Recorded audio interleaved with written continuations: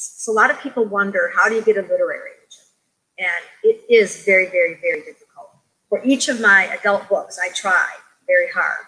So you have to you have to write what's called a query letter. You're, you're asking the question, querying a literary agent. Would you would you represent me in my book? And so you can go online and you can find a list of literary agents, and then you can find which genre of books that they represent. So of course, if I'm going to look for a children's book, I'm going to um, try to look for an agent for a children's book.